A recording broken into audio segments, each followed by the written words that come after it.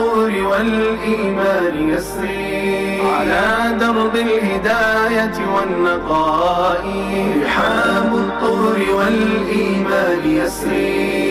على درب الهداية والنقاء. رحابك شع بالأنوار فجرا ليهدي التائهين إلى الصفاء. تعالي يا أخية في رحابي. لنصعد صوب علياء السماء. لنصعد صوب علياء السماء. والإيمان يسري على درب الهداية والنقاء. رحاب الطهر والإيمان السلام عليكم ورحمة الله تعالى وبركاته. تنزف أمتنا اليوم من كل مكان. فقد زاحم الكم الهائل من الأخبار.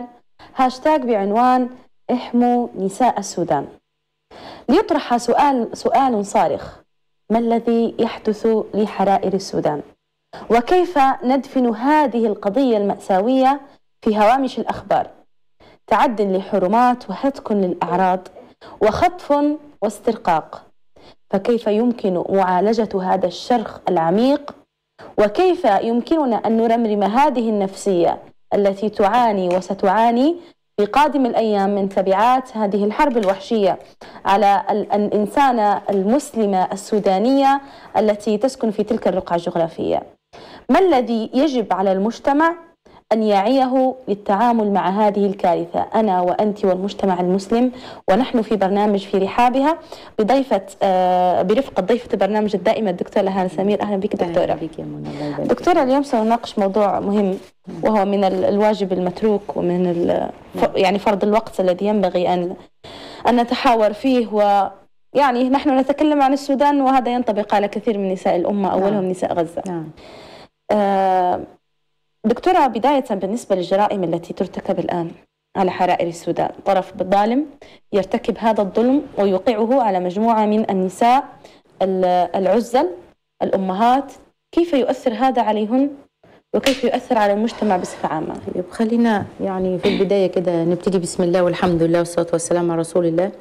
ربنا يجعل يعني هذه الحلقة صوت حق وصدق تصل لكل من له يعني يد أو أو حتى نقول واحد في المية ولا حتى خمسة من عشرة من سبعمائة ألف ضعف نقدر يغير شيء. إيه، أو حزب لله. أو والله طلعناها من الح... طلعنا نفسنا من الحرج الشرعي وقلنا ونصحنا يجي يسألنا ربنا يوم القيامة نقول له والله يا رب. إحنا فعلنا في حلقة في رحابها على إذاعة قناة التناصح. وقلنا وحذرنا وقلنا الوسائل وقلنا العلاج اللهم لا تؤاخذنا. آمين. لا بضعف الأم ولا بضعف القرارات ولا بضعف الشعوب مش الشعوب ال- الدول ذات نفسها الحكومات ذات نفسها.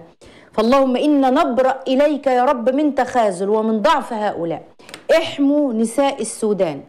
احموا نساء غزة احموا نساء الروهينجا فاكرة أيام الروهينجا كانت الدنيا عاملة إزاي؟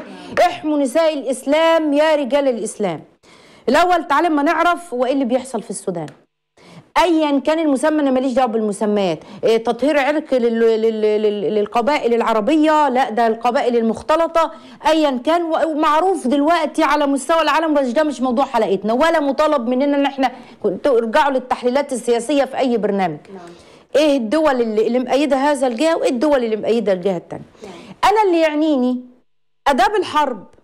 لو أنت بتتنازع عن شيء طائف- طائفتان من الاثنين واحدة ات- بغت على الأخرى. هنعمل إيه؟ إحنا كمسلمين في أصول. في بتاع حوالي 8 9 أصول كنا قلناهم زمان أيام غزو ال- الكويت. نرجع الحاجات دي فإحنا ديننا ما سابش حاجة. فما تجيش تقولي لا أصل إحنا مش عارفين أداب الأمر وإحنا ما نعرفش إيه اللي بيحصل. هي الكارثة اللي في السودان إن ما فيش ميديا كافية وما فيش لا ميديا كافية ولا في نوع من أنواع التغطية زي مثلا اللي حصل مثلا في آه، آه، في فلسطين وغزة. يعني إحنا قلوبنا كلنا هناك إحنا قاعدين بس مباشر موجود قدام مستشفى الشفاء بنعمل مش عارفة بس مباشر في النصيرات. ما أعرفش إيه اللي بيحصل كذا. في ميديا بتتقدم فاحنا فاهمين إيه الوضع. في السودان مش كده. اتصرف فيديوهين ثلاثة قلبوا الأمة كلها. تطلع واحدة ده اللي بيحصل. المشاهد اللي وصلتنا وفيها تعتيم وما فيهاش نوع من أنواع حتى الكلام. تطلع إيه إيه امرأة سودانية انقذونا انقذوا نساء السودان. إحنا بيتم اغتصابنا. إحنا كذا. ولما واحدة هربت نتيجة القذيفة وقعت في المخيم ولا المعسكر اللي كانت فيه طلعت قالت إحنا معي 13 بنت. وفتاة صغيرة يعني. وال وال وال والحديث بتاعها موجود كله على الميد معانا 13 بنت بيتم التناوب علينا كل يوم. ده اللي انقذونا. لما يجي ال ال ال النساء في السودان تيجي تسأل الفتوى إيه أنا حامل من من سفاح وكذا طب ننتحر؟ طب ننزل؟ طب نبكر بطولنا طب نعمل إيه؟ قولوا لنا يا مشايخ ويا علماء وطلعوا لنا فتوى نعمل إيه علشان خاطر إحنا نعرف نواجه اللي, اللي بيحصل ده. ما دي كارثة. ما دي الأعراض ما دي واسلاماه ومعتصماه ما هو دوت. لكن فين الأمة؟ الأمة مغيبة. ففي تعتيم وما فيش ميديا موجودة زي الميديا اللي موجودة في فلسطين تشرح لنا الوضع. ده جزء. لما بنيجي نتكلم قبل ما أقول لك ونأصل دلوقتي أنا نفسي والله الحلقة تمتد لساعات يعني أملي إن أنا أخلص كل المحاور. ليه؟ لأن الموضوع ده ما ينفعش يتخذ من جانب نفسي بس ولا جانب اجتماعي خطأ خطأ. أنا لازم أشوف الصورة كاملة كمسلمة كمؤمنة كامرأة كأم كبنت كزوجة. المفروض الكلام ده كله يغطى. الله سبحانه وتعالى الوقت يكفي. لما نقول أكبر مصيبة بتصيب المرأة عرضها شرفها. نعم. ولنا في السيدة مريم بقى السيدة مريم البتول بقى. يعني برغم معرفة السيدة مريم البتول العذراء الطاهرة الشريفة العفيفة بحالها بحالها برغم عارفة بطهارتها اشفقت هتواجه الناس إزاي؟ هتواجه ال ال ال ال ال قومها إزاي؟ قالت يا ليتني مت قبل هذا وكنت نسيا منسيا. بس خلاص. لما نفكر بقى في أخواتنا اللي موجودات في السودان الآن الأمر مصيبة وكبير كبير جدا. إحنا لنا دور كأفراد لنا دور كمجتمع مسلم لنا دور إنساني. يعني مش هنتكلم بقى بإسلام مع إن الإسلام يكفيك كل هذه الأمور لكن للأسف الآن ضعيف وما فيش ما فيش اللي هم لا يتجمعوا تحت رايه وهي دي المشكلة اللي بياخدوها. ما فيش رأية موحدة نعم. للامه يبقى هاخدها من الناحية الإنسانية وكأمة مسلمة. الوضع مش مزري وبس الوضع كارثي. يعني أنا شفت فيديو لسه كنت بحكي لك على جزء منه قبل الحلقة. الفيديو إن هما النساء بتنضرب بالهراوات وبعدين اللي بتجري واللي معاها طفل شايلاه أو الطفل جري منها لو بيمشي أو التانية اللي شايفة اللي ماسكة الطفل على ظهرها. فقام جاي ضاربها أنا مش فاهمة إيه ده؟ أنت بتخبط إيه؟ بتخبط حجر قدامك دي امرأة دي ست. فقام جاي خابطها فوقعت يا حبيبتي وقعت على إيه؟ على ظهرها. مين اللي على مين اللي شايلاها زي السودانيات ما بيشيلوا الطفل اللي شايلاه. فشايلاه على ظهرها فوقع فتفج راسه. المشهد الثاني الفيديو ال- ال- الكارثة. انت قلتي مش عايزة اتفرج عليها أنا لازم أحكي لك بقى. عشان هي دي الكارثة والله يا أستاذة منى. الفيديو الثاني إن الأم تم إبادة لنساء ورجال والنساء كتيرة كتيرة مرميين. ويا عيني هي مربوطة بابنها فابنها مربوط منها صاح هي ميتة. وهو نايم على الدم بتاعها. ده مش المشهد الثاني هي ميتة تماما والولد قاعد وعمال بيعيط. ولد لا صاحي إله والتاني إلا الله. لا لفت نظري إن وهم بي- بيحركوها يشوفوا هي دي ماتت فجاه فالولد مستكين تماما ويبص لهم وساكت تماما ما بيتكلمش. الولد التاني بيبكي اللي اللي عايم في بركة أمه بتاعت الدم. طبعا دي نسأل. والله نسأل والأمة تسأل على الوضع ده. طيب إيه اللي بيحصل؟ طبعا في انتهاك أعراض. انتهاك الأعراض ده يجيب لي صدمات. يجيب لي صدمات. اللي بيحصل ده جريمة حرب؟ آه. جريمة إبادة؟ آه كله. إبادة جماعيه تطهير عرقي كله كله يتقال عليه كله. أنا عندي لو قلت لك بعض القوانين اللي جرائم الحرب كانت أسسوها في روما قال لك سنة 98 الوثيقة الجامعة اللي بتقول الكلام ده بتقول تعريف إن أي إن الجرائم الإنسانية وجرائم الحرب أو المعاهدة اللي تمت على مستوى الدول بالكلام ده إن حددت جرائم ضد الإنسانية هي إيه؟ هي أي انخراط في عنف واسع موجه ضد عدد من الضحايا سواء في منطقة جغرافية ولا لا. قال لك منه القتل العمد التعذيب المعاملة اللا انسانيه تجارب بيولوجية بتتم وده تم في الحرب العالمية الثانية وله توثيق. الجرائم البيولوجية اللي تمت على الدول المحتلة. ولا حول ولا قوة إلا بالله. جاي يقول لك الإسلام مش الإسلام. ده هم الإرهاب ده هم ذات نفسهم أصل العنف. أو إنك تلحق ضرر بالممتلكات وهكذا أو إنك تكون عايز تعمل زي نوع من أنواع الإبادة لمجتمعات سكنية أو قطع جغرافية. أو إرغام أسير الحرب ده تعريفهم لجرائم الحرب أو الجرائم الإنسانية. آه، أو إنك أنت تحرم أسير حرب أو هكذا. سبحان الله إحنا عندنا أسير الحرب يصرف عليه. ولو رب الحلقة كفت ممكن أقول ست حاجات في الإسلام آه، بيتعامل أخلاق الحرب. في الإسلام. ولو تسمع قول يا رب سبحانك يا رب. وفعلا وفعلا. إيه قال لك كمان إن الهجمات ضد السكان المدنيين هجمات في مواقع مدنية. إيه عندك هجمات ضد الموظفين وخصوصا الحاجات اللي هي خاصة بالدول اللي هي مثلا ميثاق الأمم المتحدة وهكذا. إيه من ضمن الحاجات مهاجمة القرى والمساكن كمان قايل على الأراضي كمان قايل على أنا عايزة بس أجيب لكم الحتة بتاعت اللي هي الفرق ما بين الجرائم الحرب والجرائم الإبادة الجماعية وجرائم ضد الإنسانية كلها تمت في السودان وغزة. كلها. تم وفي الروهينجا. يعني شاور على أي موقع في الخريطة بتاعت الإسلام هنا هتلاقي في دم المسلمين بيوراك لازم. يا مستعمرين. هي دي الك... هي دي الكارثة. فلما أجي أتكلم أقول لك أصل دي جرائم حرب لا اعرف جرائم الحرب هي إيه. في النقطة هذه بالذات دكتورة يعني مثلا حرب غزة كانت من شق يهودي كافر يعني على مسلم الروينجا كذلك. نعم. من شق كافر على مسلم. صحيح. آه غالبا لكن الحروب التي تدور بين المسلمين في العموم أنهم مسلمون والله أعلم. آه هي التي لا تظهر على الشاشة وغالبا يقولون هي حروب أهلية. نعم. وهو ده اللي بيحصل. ولا يتعاطف الناس معها. آه مع إنه يقع ظلم. أحيانا الطرف الباغي يعني الله أعلم ما ملته. نعم. لكنه مسلم في الظاهر يعني. نعم. هي ده اللي بيعمل خلل. نعم. فالآن أرجد أن عدم التعاطف لأن شعب السودان اولا لأن السودان تم استبعاده أنا أعتبر السودان جزء من مصر يعني. نعم صحيح. هم جيراننا وجيرانكم يعني نحن الآن وغزه نحن نزيل عنا يعني حتى حق الجيرة. نعم. آه فحتى السودان أصلا أزيحت من مركزية الأمة مع أنه مركزي. نعم. يعني كلنا نعلم دور أصلا السودان في مقاومة غزة وكيف كان وكذا. آه لكن الآن يعني الحرب التي تثار الآن حرب أهلية ويظن الناس أنهم برابرة وأنهم همج و... صحيح. فكيف نزيل هذه النظرة بحيث أن فعلا نشعر هذا الشعور الإسلامي وعدم تهميش. أختي ومنطقية هذه الحرب نعم. التي هي تقع بين الطرفين يعني. نعم. طيب أنا أنا خلينا يعني إيه نتكلم حتة ما هي السياسية بس خلينا نتكلم. نعم. دلوقتي أنا في مشكلة حاصلة في بلد من بلاد الإسلام. نعم. مالكم ومال النساء؟ أنت بت- جاب أنا دايما أقول حتى جالي ناس طبعا عارفة إنهم يعني موجهين ب- بطريقة معينة آه، بيناقشوني في أمر إلحادي بحت. والامر الثاني مش بقى علماني ده أمر الثاني ما فيهوش حتى 1% إسلام واختلاط المفاهيم. ولا وانت ليه؟ قلت له لا لا لا أنا جابهك فكر بفكر. هات لي فكرك وفكري. نعم. و- و- وأنت الشعب طريقة حضارية منطقية. أنت دلوقتي في مشاكل في ده وما فيش فكر بفكر في الآلة العسكرية. وفي دول مستفيدة. اغنى السودان دي دولة غنية جدا. أصلا بنقول الثروة الحيوانية اللي كانت موجودة في السودان وكان في خطط معمولة في 2012 علشان يحصل نوع من أنواع التنمية لجميع شمال افريقيا كله اللي شامل بقى ليبيا وتونس كان من السودان.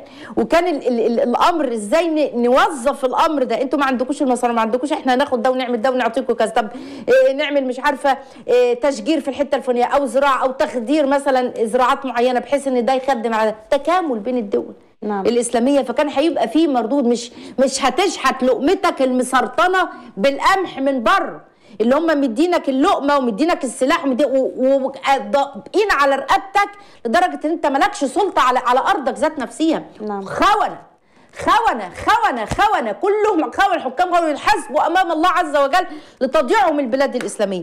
طيب ال- الحل إيه؟ أنت دلوقتي في صراع. الحل إيه؟ أنت مالك ومن أنت بتغتصب النساء ليه؟ يعني انت جاي ما هم دول مرتزقة بقى ما تقنعنيش إن دول بقى دولة بلد يعني طائفه من البلد يعني. دول مستحالة. ابن بنت بلدي ده إحنا عندنا بالليل يقول لك بنت حتتي بنت منطقتي ما جيش عليها ولا عرضها ولا شرفها. انت ليه بتغتصب النساء؟ تقتلهم ليه؟ يعني قتل الامراه بطفل رضيع بالمناظر المصيبة. هم خمس فيديوهات اللي شفتهم فقط. مش زي آلاف الفيديوهات. نجحت غزة في تغيير صورة العالم عن فلسطين. ليه؟ اتعمل خوارزميات على الميديا لمنع أي حاجة فيها تنشر تتنشر فيها كلمة فلسطين ما تقدرش تكتبي فلسطين مفككة. لازم مفككة وتعملي مش عارفة اس إيه وع... هيصة.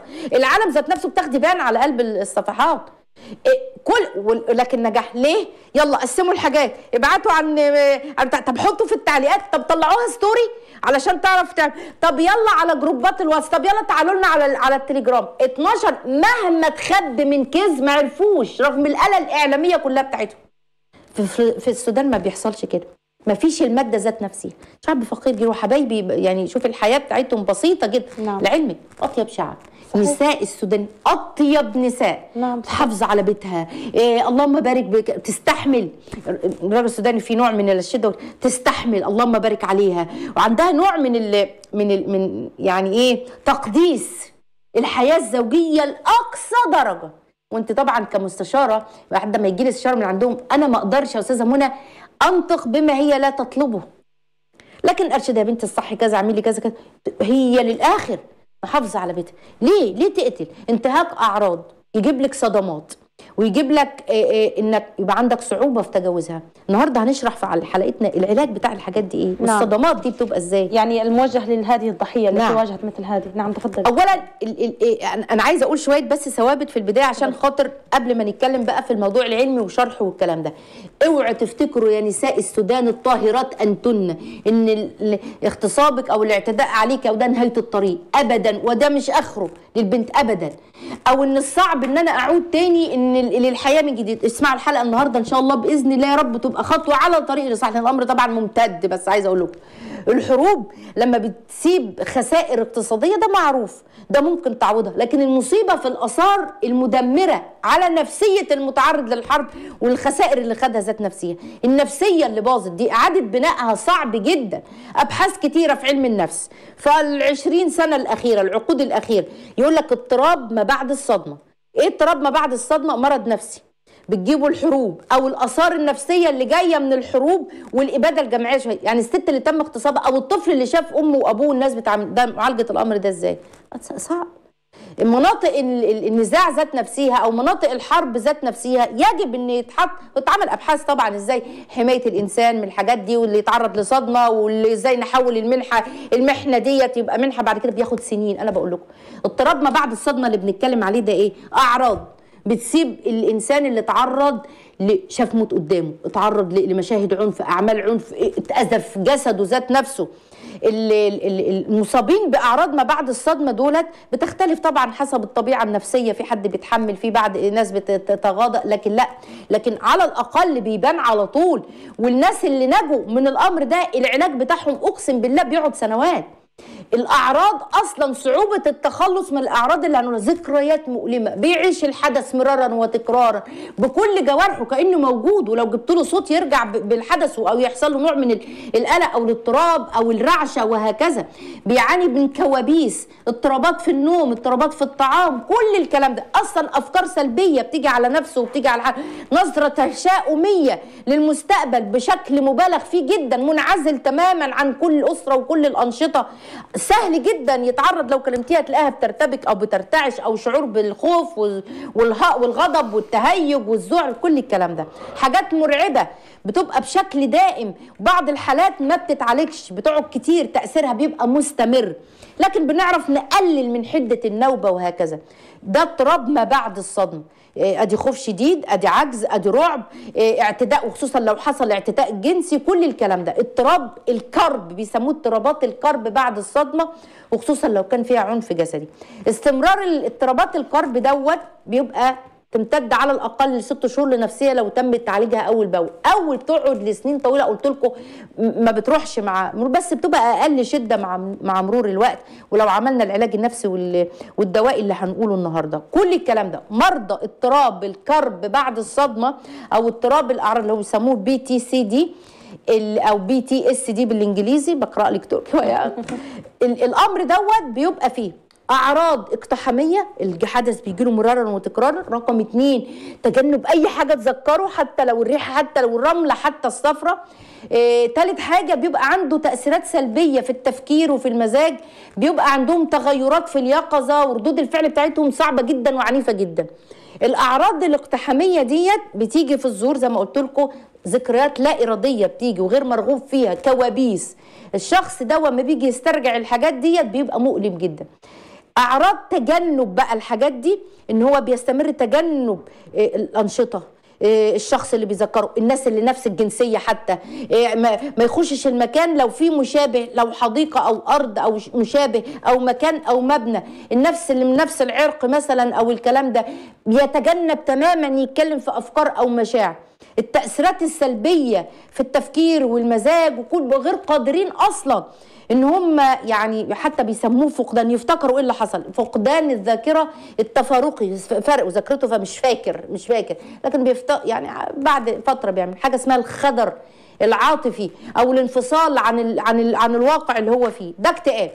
وعلاجه بيبقى موجود. في طريقة تفكير الأشخاص بتختلف إن هو ممكن يكون مثلا حاجات مضطربة أو تؤدي بيهم يلوموا ساعات نفسهم أو إحنا السبب في إن إحنا إحنا نجينا والباقيين ما نجوش ويفضلوا يبكوا على الكلام ده. عندهم مشاعر سلبية فقط. زي ما قلت لكم مش بس الخوف أو الذعر أو القلق. كل دي مشاعر يحسوا إن هم مسيطرة عليهم خوف رعب غضب أو العار وخصوصا لو كان الأمر جسدي. طبعا التغيرات في ردود الأفعال بتختلف من شخص لشخص. زي ما قلت لكم ما بيعرفش ينام دايما متيقظ دايما خايف دايما متوتر دايما قلقان. الحاجات دي كلها وصعب على فكرة إن هو تقدري تسيطري عليه إلا إذا اتلحق. فبيبقى العلاج يا إما سلوكي يا إما العلاج دوائي. العلاج الدوائي بيبقى اكتئاب. مضادات الاكتئاب كلها. أو مضادات الذهان مع إنه ما يكونش عنده ده أو مضادات قلة النوم أو الوجع ما يكونش عنده الأعراض دي بس دي حاجات تابعة عشان تقدد من تقلل من حدة النوبة يعني نعم. لكن في العلاج ال- ال- الدعمي اللي هو السلوكي يا فردي منك له أو أو أو مع جماعة. أنتوا تعرضتوا فبناخدهم كجماعة وكمجموعة وبنعمل لهم نوع من أنواع الدعم النفسي. بلاحظ كمان حاجة اسمها توافق العين وأنا بحكي القصة أو محاكاة الأمر بنفسه بس لازم طبيب شاطر جدا أستاذة منى. الطبيب ده إن هو يخليه ي- يحاكي معاه المشكلة إنه عنده قلق عنده فوبيا منها. أنا مرة عالجت بنوتة اتعرضت على يد حبيبها المفروض استغفر الله يعني كانت مصاحبة واحد استغفر الله وخدها المكان. وبعدين حد قال فتن عليها وقال مثلا أو أو, أو اتبلى عليهم كذب إن دي مش بنت فقام جاي مدخل صاحبه عليها. فتعرضت لصدمة اغتصاب وصدمة إن إن ال boyfriend بتاعها استغفر الله ال- الصاحب اللي كانت مصاحباه في الحرام هو اللي سلمها لده. ولما اكتشفوا إنها بنت طلعت منهارة عندها فوبيا من حاجتين. أي كوتش له آه، رباط. لأن يوميها كان الكوتش اللي اللي هي كانت لابسه لي رباط قعدنا نعالج في الكلام ده ثلاث سنين. فالعلاج بالمحاكاة محتاج طبيب شاطر جدا. ونظرة العين. يعني تبص تلاقي العين رايحه وجاية كده مضطرب لأنه هو متخيل شامم حتى الريحة اللي كانت موجودة نعم. في قلب المكان. فأنا بقول إن نساء السودان اللي تم اغتصابهم أو تم التعدي على جسدهم أو قتل ابنها قدامها أو الولد اللي شاف أمه اتقتلت قدامه زي ما أنا شفت كده لازم ما هو لازم أشوف. يعني يعني وبعدين بقعد أعيط بقى وأقعد أدعي واقعد يعني لازم بس لازم أشوف. يفضل إن كده بس دي مش دعوة لأن في نساء زي ما قلنا في الحلقات اللي فاتت تستطيع إنها تكمل وتشوف سواء هنا أو غزة أو أي أحداث وفي ناس لا تستطيع والنبي صلى الله عليه وسلم راعى دوت. ففي ناس تقدر تقدر تعمل تكمل وتحول الطاقة دي أعمل إيه للامه أعمل إيه لنصرة الإسلام؟ أعمل إيه علشان نساء السودان؟ اللي صعبان علينا يا أستاذة منى في الموضوع دوت إنه عرض وشرف. آه، عرض وشرف وإحنا يعني يعني يعني يعني بنقول رجالة الأمة ذات نفسها محتاجة يعني يعني فين الكرامة يعني؟ يعني فين فين فين كرامتك انت كراجل مسلم وانت شايف عرض أختك المسلمة بيهان وبي وبيدنس؟ فين كرامتك انت كراجل لما تطلع الأسيرة الفلسطينية يجردوها ويلبسوها ملابس شفافة عشان تنتهك سترها أمام أعين الكفار اللي الله عليهم من الله ما يستحق من اللعائن. يعني أنا أنا كامرأة أنا هذا الأمر يدمي قلبي. نعم. يعني كل ما ما أشوفه أفتكر بيفكروني اللي كان بيحصل في سربنيسيا في سربنيسيا في, في الصرب كوسوفو وأيام اللي كان بيحصل واغتصاب خمسين ألف مسلمة خمسين ألف مسلمة تم اغتصابها والمحارق الجماعية والقبور الجماعية وفي الآخر هنطلع واحد هو اللي هيبقى دوت مجرم الحرب ون ون ونحاسبه لا لا الموضوع مش لازم يكون كده وعشان كده أنا بقول سواء للسودان أو لسوريا أو لفلسطين إن بداية طوفان الأقصى هي بداية تحرير هنا وهنا. استحالة الشعوب الإسلامية واستحالة القلوب المسلمة هتفضل مع شدة الضغط. عارفة كده الضغط اللي بيولد الانفجار؟ هيجي وقت وهيشيل عارفة المارد الإسلامي هيشيل كله. لكن إحنا دورنا إن إحنا ندعمهم وإن إحنا نطيب بخاطرهم وإن يبقى في يعني لو نعرف نجيب النساء دي يعدوا. طبعا عندك يعني هيعدوا هيعدوا على مصر. مصر لك دلوقتي فيها 9 مليون. ده بالإحصائيات بتاعه اللي هو السفير السوداني. لكن حقيقة هم 11 مليون. التسعة مليون اللي موجودين أو ال 11 مليون اللي موجودين هيعدوا فين؟ عدوا مصر. طيب ما هي زيادة ويقول لك ونفس بقى المشكلة اللي في كل مكان. ما زي تركيا استوعبت سوريا زي مش عارفة إيه. اعمل منطقة آمنة. للسودانيين اللي جايين على الحدود. خد المنطقة دي بتاعت الشمال يبقى انت عندك بحر أحمر أهو ده عندك المنطقة اللي فيها المينا الناحية دي. وعملت لهم منطقة آمنة أنت كمصري كجي كشعب مصر أو كدولة مصر وجبت النساء دول وجبت اخواننا وما استغناش عنهم وفي نفس الوقت كفهم وهيبقى في تدوير جامد لأن هم على حاجتين اتنين ده هم على معبر على على بحر الناحية دي وأرض خصبة الناحية دي. يعني ما إحناش خسرانين شيء يا مسلمين أقسم بالله. اعمل لهم منطقة آمنة زي ما تركيا عملت لسوريا منطقة آمنة. على خش 60 كيلو ولا ولا مش عارفة 50 كيلو واعمل المنطقة ديت وهاتهم. ونجيب النساء ساعتها بقى إحنا كتربويين أو كمنظمات المجتمع المدني. ما أنا أنا كمسلمة. أنا أنا أروح أنا أنقذ الناس دي إزاي؟ ما هو أنا ده التفكير. أنا أروح أساعدكم إزاي؟ هاتهم. هات النساء دول وهات الأطفال دولت ويعمل التربويين والاطباء على مستوى اللي جد والاطباء لا اطباء بلا حدود ديت اللي بطلوا الناس فين؟ يا ستي أي منظمة تعمل وإحنا نروح متطوعين معاها؟ نعالج النفوس. بتخلص في ست شهور ده لو نفس سواء لكن اغتصاب والمناظر اللي إحنا شفناها وبكاء النساء وتقول لك يتناوبوا علينا كل إحنا فين؟ إحنا في الصرب هنا؟ إحنا فين؟ مسلمين مع مسلمين؟ ده عشان تطهير عرق ايا كان ماليش دعوة بالسياسة أنا. لكن ايا كان أنا بتكلم دلوقتي على نفسية امرأة وزوجة وبنت وأعراض يا مسلمين. طيب دكتورة هنا نقطة تطرح أيضا. يعني إذا كان هنالك دور غائب من حماية وجيوش وفرسان دور إعداد المرأة وحماية لحماية نفسها. ألا ألا والله ألا ينبغي أن يكون هذا واجب الوقت والله يا أستاذة منى أنا فكرت في النقطة دي وقعدت أقول طب وبعدين يعني يعني يعني عندما نقرأ فقه الجهاد والآن نعم. عاد إلى نعم. الساحة نعم. نجد أن فقه جهاد المرأة يعني موجود أنها في وقت الحاجة تدافع عن نفسها فأيضا لدينا أخواتنا من السودان الآن موجودات وربما نعم. يتعرضن في طيب، المستقبل هم... ما هي الخطوات العملية التي ممكن أن تحمي بها نفسها بما لديها من قوة وما هي النقاط الاستراتيجية في المستقبل التي تحمي بها المسلمة نفسها وتكتسب يعني سبل القوة بدل أن أن نستنجد المعتصم الذي لم يأتي يعني. إن شاء الله يأتي. طيب إن شاء بصي الله. بصي يا أستاذة منى أنا قعدت أفكر أقول يعني إيه البديل؟ يعني إيه الحل اللي ممكن دلوقتي؟ ما فيش نعم. بديل لأنهم لا متعلمين وكذا. وبعدين حتى لو اتعلمت الدفاع نفسها أنت بتجابهي جيش. هي دي المصيبة. أنت بتجابهي جيش وآلة عسكرية جيش. نعم. مدفعيات و RPG ودبابات للنساء. الفيديو اللي أنا شفته كان نساء يا أستاذة منى. يعني هبعتهم لك خمس دقايق هبعتهم لك بصي من بعيد بلاش تبصي يعني RPG وبتاع أنت عارفة جايب هراوة قد كده أهو كبيرة قد كده وضاربها على راسها وظهرها يعني أنا استحالة تكون عدت من غير العمود الفقري ما يتأذى استحالة وقعت هي وقعت ما قدرتش ويعين الولد يعني دي تحمي نفسها إزاي؟ لكن فقه إن أنت أتعلم الدفاع عن نفسي. ايا كان. وطيب تم الأمر وعرفت أدافع. أهلا وسهلا. بصي بقى علشان بس أنا ما بحبش الناس يعني تحبط يعني نرفع. ما, ما تمش. دون عرضه فهو شهيد. دون عرضه فهو شهيد. نعم. ف ف ف فالقصة دي أنت لو ما لقيتيش من رجال الأمة من يدافع عنك. نعمل زي أستاذة منى بتقول. والله اتعلمي وشوفي فن الدفاع إزاي اخلص الإيد مش عارفة منين إزاي اعمل اللي بتاع إزاي أضرب في منطقة بطن مثلا الركبة ولا السمانة في فيقع فجري. يعني ايا كان. لكن أرجع أقول لك ده ده جيش. هي مش بتواجه فرد مجرم آه، أو عصابة مثلا أو ثلاثة أربعة هتعرف تخلص منهم بقى وبعدين يجيبوا لك مش عارفة أفلام اللي تبقى لابسة نعم. بتاع كذا وكذا لا. دول فادعي في الأول وفي الآخر. إن الله سبحانه وتعالى يا رب يحملهم ويجعل لهذه الأمة يا رب أقسمنا عليك بك يا رب بحق اسمك الأعظم الأحب يا رب أقسمنا عليك بك بحق حبك في رسول الله. اللهم نجي أمة محمد يا رب ونجي أمة الإسلام والمسلمين. اجعل لهذه الأمة أمر رشد يعز في أهل الطاعة وأهل الإسلام يا رب. اجعل القائد الرباني يا رب اللي يوحد صفوف المسلمين. اللهم انقذ يا رب إخواتنا في السودان. اللهم احملهم اللهم احفظهم اللهم احميهم يا رب. وإخواتنا في غزة وفلسطين. فلسطين وفي كل مكان وكل بقاع الأرض. اللهم آمين. اجعلنا سبب في نصرة هذا الدين يا رب. اللهم اجعلنا سبب في نصرة هذا الدين يا رب. واستعملنا صالحا ولا تستبدلنا. اللهم آمين آمين. آمين يا رب. جزاك الله الله خير. خيرا. دكتور نستقبل اتصالات ثم نعم. نرجع إن شاء الله.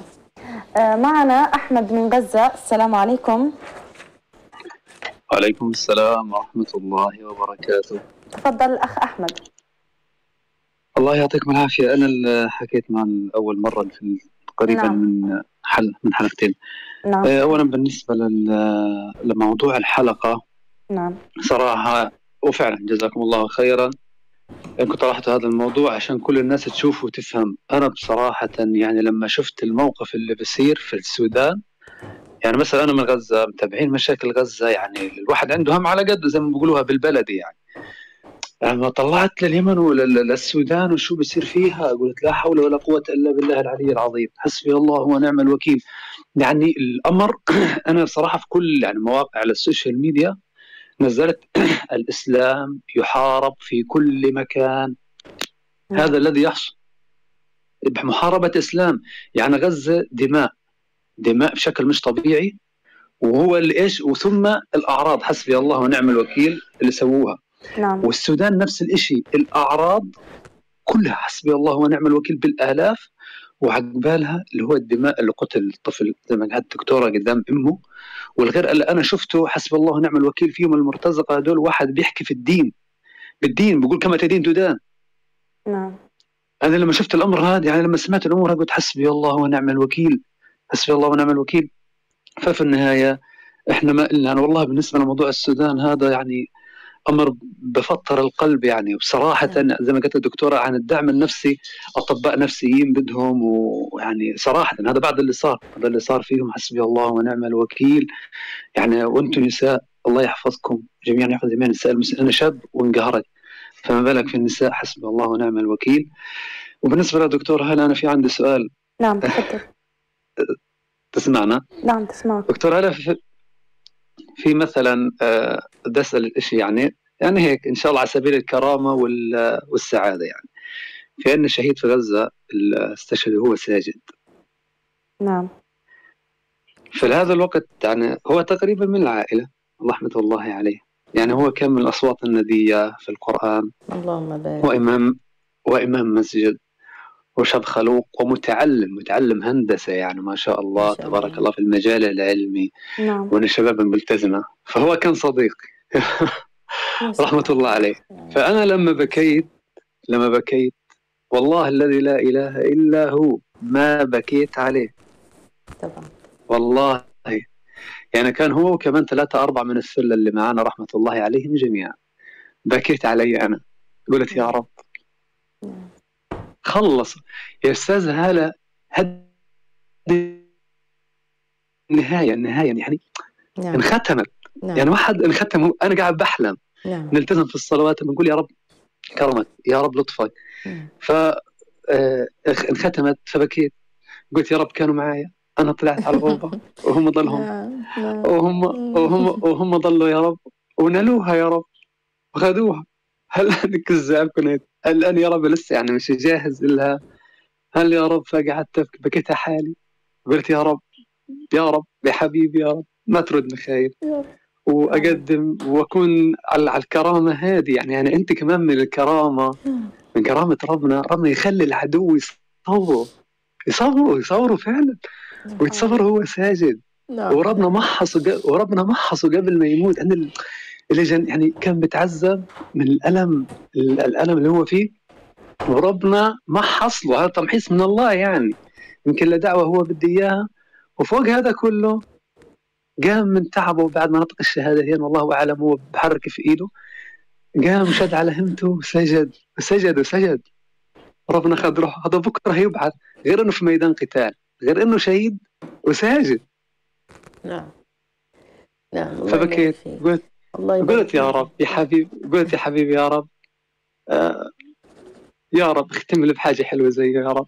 يعني هو قريب يعني وحبيبنا وهيك فعشان هيك فيا دكتوره هالة ادعي لي بالثبات آه الله يبارك فيك يا أحمد. خليني أعلق منى على ال- نعم. على فيديو الشهيد اللي ساجد. يعني هحكي لك اليوم حصل في إيه في الليل عشان بس قعدت أقول يعني ده خد الطلقة تمام؟ هو كان مجاهد وخد الطلقة و و و ويأبى غير انه هو مش مرتاح على وضع غير الوضع اللي كان بيريحه في الدنيا. ده م- هو يقول لك أهو من حمل وحفظ الكتاب من الأصوات الندية وصديقه. اللي حامل كتاب الله دوت كانت راحته فين؟ في السجود. إنما أشكو بثي وحزني إلى الله في السجود. هي دي الحال اللي كان بيريحه في الدنيا. أموت اقابلك إزاي على اللي بيريح أحكي أدعي لك في ناس حالها مع الدعاء في ناس حالها مع مع الصيام في ناس حالها مع الصدقات. ده كان حاله أكيد في السجود. ده كان حاله أكيد له حال مع الله عز وجل إنه يو يو يعني يعني أقول مثلا يرشد ويوفق في آخر لحظات حياته مع شدة ضربة الظهر. الظهر يعني يعني متفتت وهو نعم. أصلا كله أكيد جرينوف محرم أنا لا أبريهم. ويطلع عشان يفتت القلب. ال- الثواني المعدودة الدقائق دي. أنا أسجد لك فيها يا رب. يعني هو بيقول يعني سجوده ذات نفسه أنا قريب من أنا عايز أختم نفسي بده لأن ده الحال اللي يريحه أنا ال- ال- الحاجة اللي هو قالها أحمد معلش بقى سامحوني أقعد أعيط بقى وكده بقى. الحال اللي بيقولها أحمد أنا بكيت على حالي. كان صاحبي يا رب. وبعدين بيقول لك إيه؟ يا حبيبي يا رب. آه هو فعلا كده. إن ربنا حبيب الكل. بس اللي له حال مع الله. نعم. فاختار إن هو يبقى ساجد شهيد يبعث يوم القيامة على الشهادة وعلى السجود وعلى هكذا. آه. الحمد لله. الحمد لله. فأدعو الله سبحانه وتعالى. يعني روحوا موتوا على ما مات عليه. ويرزقنا ربنا. الوجع بيبقى إن إحنا مش عارفين إحنا هيختم لنا بإيه. ادعو الله سبحانه وتعالى. يختم لنا بالشهادة. آمين، آمين. ويختم لنا بالخير. يا رب اللهم آمين. مقبلين غير مدبرين. يا رب اللهم نعم. آمين. جزاك الله خيرا دكتورة. معنا رودي من مصر. السلام عليكم. عليكم السلام ورحمة الله وبركاته. ازي حضرتك؟ الحمد لله. بخير. تفضل يا رودي. دكتورة؟ اي نعم تسمعك الدكتورة آه دكتورة هلا أنا مبسوطة جدا إن أنا بكلم حضرتك والله وأنا مش مصدقة خالص عشان أنا حاولت أتواصل مع حضرتك كتير حتى على الواتساب وما كنتش عارفة خالص يعني بسبب ظرف ما يعني. نعم. الله يبارك فيك فأنا يا بنت ويكرمك تفضلي تفضلي أنا سامعاكي. أنا عندي مشكلة. هي بالنسبة لي كبيرة هي صدمة يعني. بالنسبة لي هي مشكلة شخصية بس أنا حاسة إن هي كبيرة بالنسبة لي كأنها نهاية العالم مع إن ممكن تبان تافهة بالنسبة لناس كتير. بس أنا بالنسبة لي كنت في الجامعة وفي شاب اتعرف عليا مش ارتباط يعني يعني اللي هو شافني فطلب إن هو يتقدم فتقدم من أول يوم في الجامعة بعد كده أهله رفضوني لأني كنت بلبس بنطلون مثلا على حاجات آه، طويلة. فهو قالوا إن ده مش وضع بيتهم فهو جه اتكلم معايا إن إحنا أنا شريكي وإن أنا عايزك فأنا لو هنكمل فأنا أهلي بيتي واحد اتنين تلاتة فأنا مشيت على هذا النظام بقيت مختمرة الحمد لله.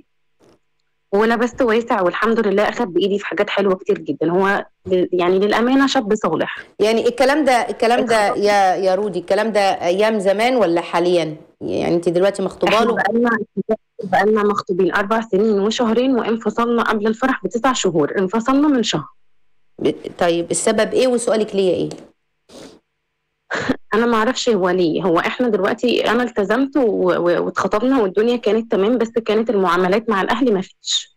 أنا يعني اتخطبت بدبلة والظروف المادية ما كانتش أحسن حاجة عنده وافقنا كل ده علشان إيه؟ يعني حد شارينا وحد محترم تمام تمام يعني أنا فاهمة بس عشان ما يقفلوش عليك الخط عشان في اتصالات تانية. أنا بسألك دلوقتي سبب قال لك سبب فسخ الخطوبة إيه؟ من عندك ولا من عنده؟ إيه السبب؟ هو هو آخر يوم ما بيننا في الكلام كان كويس جدا معايا وما فيش أي حاجة. ط- أنا بس في المكالمة عليت صوتي فقلت لفظ إن يعني أنت بتتعامل معاملة مش رجولية بسبب إن هو قفل السكة في وشي وسابني على الخط. مم. بعدها أخد رأي طرف ما يعني فارجوكم بس ما تقفلوش لحد ما أكمل الحتة دي. أخد رأي طرف ما وبعد كده هو والدته اتصلت وقالت إن كل شيء اسمه ونصيب. بعدها أهلي عملت عدة محاولات لأن هو عمل بلوكيت من كل حاجة إن هم يروحوا يفهموا إيه الأمر. هم أخدوا إن الحتة دي حتة عيب عندنا إحنا إن إزاي إن الأهل تروح للولد. نعم واضح تمام. سؤالك.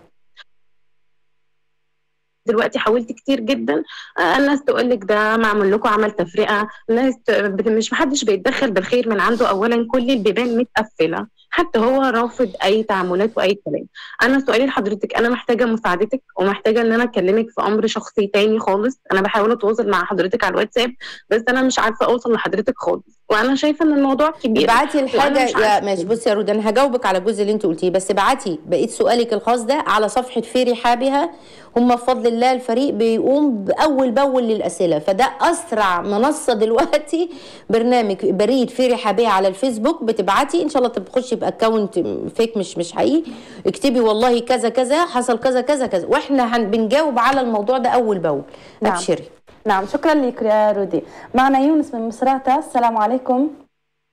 وعليكم السلام ورحمة الله وبركاته. تحية طيبة أخت منى وعز- حياك الله وتحية خاصة الله. للدكتورة الهالة. ربي يبارك فيكم. إن شاء الله المنبر الطيب وجعل ذلك في مزال حسناتكم إن شاء الله. إن شاء الله.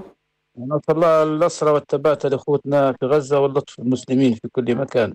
بارك الله فيكم على جهدكم الطيبة إن شاء الله. والله هو عندنا منزيد على كلام الدكتورة بارك الله فيها. تهدئة النفس ما في شك والعواطف الجياشة وربطها بالحقيقة بال- بالواقع مهم جدا. يعني يعني يقولوا كثرة النظر للباطل تستحسن النفس حتى يذهب معرفة الحق من ال- من القلب. إياك إياك النظر الباطل. والحقيقة لاحظنا حتى الأيام هذه كثرة الحقيقة في ال social media ولا وسائل حديثة يعني وللأسف يعني يعني الناس ما يقدرش مقاطعة على مظاهرات على الأقل أقل من المرادية نشوفوا في سفور كثير جدا في الفنانين والفنانات والممثلين والممثلات وال- والماضي الجميل والحاجات هذه. انتبهوا لها الأمور الحاجات هذه كلها هذه ممنهجة للتبريد الواقع على عدم التضامن والترابط مع الشعب الفلسطيني وحتى ما يحدث في في في السودان. كلها رسائل لنا إحنا لتخويفنا وإرهابنا. فالحقيقة الموقف كبير نتمنى كلمة ل- ل- ل- لأولياء الأمور ونفس ال- الأمهات اللي هم اللي بيصلوا الجيل الطيب أن يكونوا معتدين في الأمور دي وما خليش وصح نفس طويل وتبي يعني كذا وإحنا مرة لما الطغاة وغيرها ولكن ديما الأمور الشرعية واضحة في الأمور دي فيجب التقليد من هالمعاصي إن شاء الله ما نقولوش قي- قيدتنا معصينا ولا عياد الميلاد والكلام الفارغ هذا هذا كله راه مساهمه في إحباط الشباب بدون ن- نعنمو أو ما نعنموش نسأل الله أن يثبتكم وبارك الله فيكم إن آمين. شاء الله. بارك الله فيك. آه ننتقل دكتورة لاستفسار بريد الصفحة نعم. آه الذي وصلنا على صفحة في رحابي على الفيسبوك. آه سائلة تسأل وتقول السلام عليكم. أنا فتاة عمري 17 سنة أعيش في بيت أقاربي. منذ كان عمري 12 سنة. أمي في بلد وأبي في بلد آخر. لم أشعر بالحنان والاحتواء طيلة حياتي. تعرضت للاعتداء للجسد ست مرات عندما كنت صغيرة. فقدت الثقة في كل من حولي وكلما أكبر تزداد نفسيتي سوءا. حاولت الانتحار ثلاث مرات وأحيانا أؤذي نفسي. ولكن أحاول التقرب من الله وأحافظ على صلاتي وأقرأ قرآن ربما يسخرك الله لتدليني على الطريق الصحيح. كيف أتصرف يا دكتورة؟ أنا وحيدة. طيب يا بنوتة يلي عمرك 17 سنة وبتسمعينا. إيه أنا وحيدة استعصمي بالله. إيه الأذى الجسدي اللي اللي تم يعني ست مرات ده كتير يا بنتي. يعني هي المفروض من أول مرة وببلغ الكبار. وإحنا بنقول كده التوعية في التحرش الجنسي أو الأذى اللي حد بلمسك أو هكذا. الكبير روحي للناس الكبار حصل كده أنتوا أنتوا الضحية. مش حد ما تخافوش من لوم الآخر ليك من أنت الضحية في هذا الأمر. فببلغ الناس الكبيرة حصل كذا كذا يا أبي كذا يا أمي كذا يا جدي كذا يا خالي أي عنصر ذكر ومفروض أنت مسؤولة منه أو وليك في هذه الأمر. حصل كذا كذا كذا احموني. ببلغ أمي ببلغ أبي لكن ما تسكتيش. ست مرات كده خلاص من ساعة ما تسمعي. الحلقة أو ال- ال- الرد بتاعي ده امنعي هذا الأمر بكل الوسائل. علي صوتك زعقي إيه، بهدلي هددي هعمل كذا. بصي بكل الوسائل. احمي نفسك. النقطة التانية نقطة آه، أنا وحيدة وأعمل إيه؟ استعصمي بالله. العصام بالله زي ما انت ربنا ألهمك كده أصلي أحفظ قرآن الفجر ليا حال فيه ليا ركعتين قيام إيه، مقرأة بنزل فيها آه، أحفظ قرآن أتعلم التفسير أخلي حالي لله. إن الله يدافع عن الذين آمنوا. والله يسخر لك ملائكة الأرض والسماء يدافعوا عنك وأي حد يلمسك ولا كذا الله سبحانه وتعالى يفضحه ولو في عقر دار لكن في خطوات للتعافي طبعا يعني مطلوب المفروض إن كان في حد معاكي. لكن خطوات التعافي منها إن أنا أبهدل اللي عمل فيا كده. وأقول له سواء إن أنا يعني أقول رد فعل مش دفاعي على أساس إن هو ولا انتقامي على أساس أكتر من إن هو أطلع المشاعر الغضب اللي جوايا تجاه الشخص الذئب اللي عمل فيا كده. وأدعو الله سبحانه وتعالى يحفظك ويكرمك. وبعد سماعك الحل ده استعصمي بالله أكتر. شوفي مكان مقرأة انزلي فيها حطي نفسك بالنص الصالحة ما تسمحيش تاني بأي أذى ولا حد يلمس طرف منك. علي صوتك خلي في مسافة بينك وبين كلام أي حد. ما تحطيش نفسك موضع شبهات وهكذا. ما تقعديش لوحدك عرفت لوحدك وفي حد جاي عم اطلعي بره البيت ونهدي الناس هاتي الجيران. بحيث إنك تحمي نفسك يا بنتي وأسأل الله سبحانه وتعالى يسخر لك من يدافع عنك. اللهم آمين. آمين. آه، دكتورة نجيب عن سؤال رودي. آه، هي تقدم لها شاب في الجامعة ولديه مواصفات في التدين هي لبتها ووافقت على وضعه المادي. آه، لكن حصل خلاف بعد الخطبة وقبل العرس أنها أغلقت ال- الهاتف في وجهه وقالت له كلام لا يليق نعم يعني. نعم. طيب. فهو أغلق كل شيء حتى محاولات الإصلاح لم يستجب لها. طيب خليني أقول لك الحاجات اللي اللي اللي, اللي, آه اللي الراجل لا يغفرها. وإحنا دايما بنقول حتى في سلسلة تأهيل المقبلات على الزواج يا جماعة من فضلكم اسمعوا التكات دي لأنها مهمة. ما في واحدة تيجي تخدش رجولة خطيبها. خدش الرجولة في واحد بيقبلها. وفي معظم الرجالة ما بيقبلوش حاجات الشباب ما بيقبلوش إنك أنت مش راجل. وأنت لو كنت راجل كنت عامل لا راجل وستي راجل ولا أنت تلزميني. وبي- وبيكره تماما مع إنه كان متيم وكان بيحبها وكان وكان. لكن ساعة ما تمس رجولته وتمس كرامته في الرجولة بالذات لا ما يقبلش. فده خط أحمر وأنا يا ريت نحذر كده. إحنا ممكن نقول كذا طب هو كان يصح؟ طب هو كان من المسؤولية إن أنت تعمل كده؟